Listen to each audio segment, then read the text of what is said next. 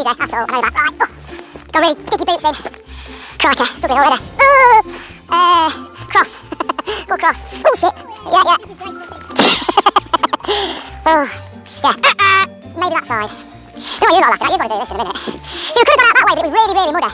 Really bad. And I've got waves, it's alright for me, but these haven't got them, so that's why we're going back up here. Oh, this is a waste of time. I'll have to go across an eye.